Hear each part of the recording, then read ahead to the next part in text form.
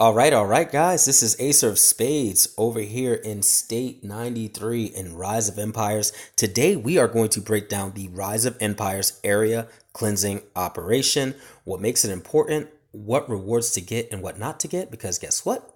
You can't get them all, and exactly how to get there, guys. So stay tuned. This is going to be a great video. Let's go. So first things first, what exactly is the area cleansing operation? Um, in Rise of Empires, as well as in Last Shelter Survival, for you fans that are from there, this is the first major event uh, that you will get access to as a new base. And by the way, it's one of the most important. Your mission, should you choose to accept it, is to kill as many of the undead as you possibly can of each different type at all levels to achieve massive bonuses and access to amazing rewards. So, why is it so important? There are rare heroes, guys, in Rise of Empires that are worth their weight in platinum, found in the cleansing operation rewards. Some of these are the fastest ways to increase your hero's power and to upgrade their abilities, are found right here inside the rewards of cleansing operation. And in a few, we're going to go over exactly what those are, but let's figure out how to crush it first. As you see me scrolling down this list, you're no doubt going to run in once you get past all these different zombie kills and their points associated with that to the technology that are also associated. So the reference tech that you're seeing right here where it says tech, novice, peacebringer, etc. in your technology tree can be found in basic combat. So as you make your way past the courage approval, the footman promotion, cavalry promotion, etc., you're going to finally run into the Novice Rebel Slayer as well as Novice Empire Defender. Finally, of course, once you get down to the end, past all the other amazingness, you're going to get to the advanced versions of the same exact thing. So what you're going to want to do is you're going to want to get through this list as fast as possible, but don't forget to also alternate between that and your class legion research. As you can see, both mine are maxed and the cleansing operation isn't even done yet. These are both incredibly crucial because both of these technologies are going to increase the size of your legion, the strength of your legion, and help you make easier and make it a lot easier to kill some of the high level undead, which you're going to need to do to complete the cleansing operation and get the most maxed out points. For more tips on this and to give you more information on this exact area and more, obviously, I said more like three times, there's going to be a video at the top right. You can look at it right now. If you click that or look in the description below after this video for the exact same link, it will give you some more huge super tips to help you crush it. So let's move forward onto the buildings. What you're going to need to do is you're going to need to get your encampments at, at pretty high levels. I'm currently based, uh, excuse me, Castle 18 but uh, my encampments are only around 12 or 13. The reason being is because you only need them to be so high. Still, you are going to need them to improve the training speed of your units, as well as the quantity of units you actually produce. And more importantly, I think than all, would be the class training grounds. I typically keep mine off road. That'll be in that video in the description I was just talking about. But anyway, it's relatively inexpensive to upgrade because it uses mostly food, which is the most expensive. The only reason I'm not taking it to 18 right now is because I want to go to Castle 19 and I need that exact same amount of food to get there.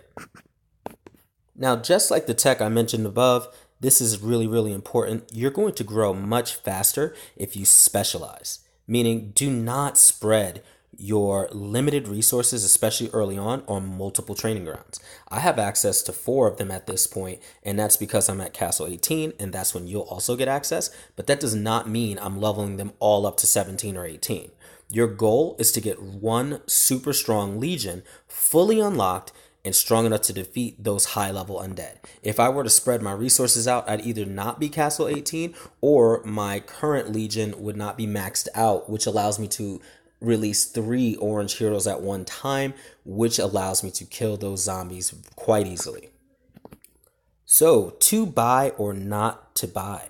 Completing the operation and maxing out those points, like I mentioned before, will not allow you to buy all of the items on the entire list. So that's a common misconception. You will not get all these check marks here and be able to buy every single thing that you see listed. So that means you got to be particular and picky when you choose what to spend your points on. So I'm going to go ahead and list down what I bought and you can obviously clearly see it on video here, but still, you're going to want to start in this order. Wisdom medals at the top right, X30. each and every time you purchase that, it gives you those wisdom medals, which increase your hero strength and increase the amount your troop can carry as long as you increase the technology in reference with that with those wisdom medals. But that is absolutely crucial because the higher level kills, the more points you're going to get, the easier it is to get the rest of the things on the list. The second thing I suggest you get, I would suggest you save your points until you can afford the advanced recruitment tickets, X15. Um, they are absolutely incredible, especially with a little luck. You're going to get either more powerful heroes or, worst case scenario, you're going to get duplicate blue heroes, which you can simply exchange for more wisdom medals. Again, doing the same thing referenced above.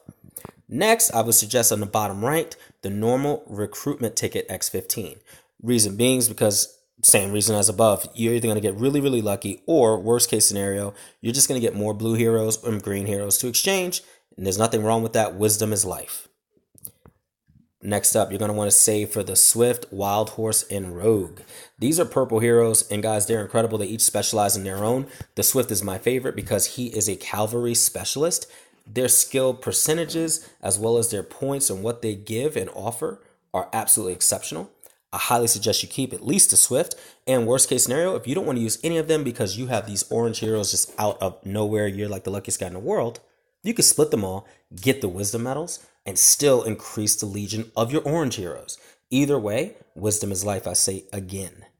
And then finally, get all the blue heroes. Now, the rare heroes I was talking about were Lady Knight, the Sergeant, and Shifu.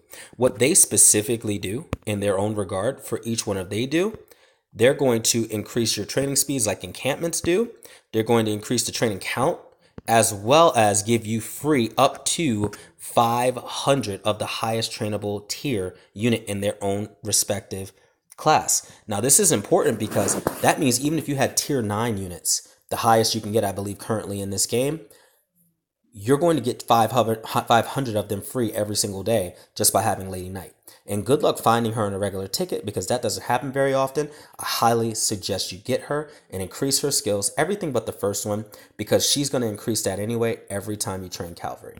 So you don't need to increase that skill. Just increase the next few and do it sparingly because you're going to want to increase your legion skills first. Now, that being said, guys, final thoughts do not buy gold or the hero exp at the bottom left now just side note, I didn't get Shifu because he's for footmen.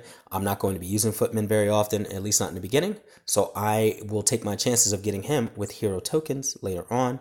Um, and just to finish what I was saying though, the 250,000 gold times four, or excuse me, four of those would be 100,000 gold.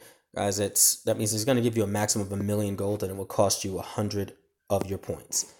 You'll notice very quickly getting 100 points takes a lot. Getting any of this gold is stupid. You can do that either rating if you're a raider, or you're going to collect that much as a trader anyway every day. There's no point of buying it with your points that are limited. And Hero EXP, unfortunately, it's literally giving you the equivalent of one purple Hero EXP, which is 50,000 EXP. You're going to get that on any given chest, like a gold chest. So that would just be really, really dumb. Instead, focus on your hero hours and your training hours, get those gold chests, and knock out KE, and you'll get all the hero EXP you need also. Spending your hard earned tokens on that, not getting things like Lady Knight Shifu, the Swift, and the advanced recruitment tickets, well, you're really missing out. So avoid them at all cost and make sure you crush it. All right, guys. Well, hopefully this video was exceptionally helpful for completing the area cleansing operation more videos to come. I really do like Rise of Empires. And uh, guys, like and subscribe, Acer of Spades, and I'm signing out.